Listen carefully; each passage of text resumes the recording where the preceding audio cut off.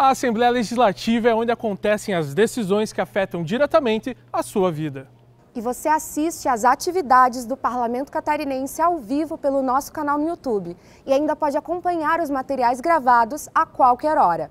E nas redes sociais, basta seguir os nossos perfis no Facebook, no Instagram e no Twitter. E você pode receber todas as informações pelo seu WhatsApp. Basta enviar a palavra SIM para este número.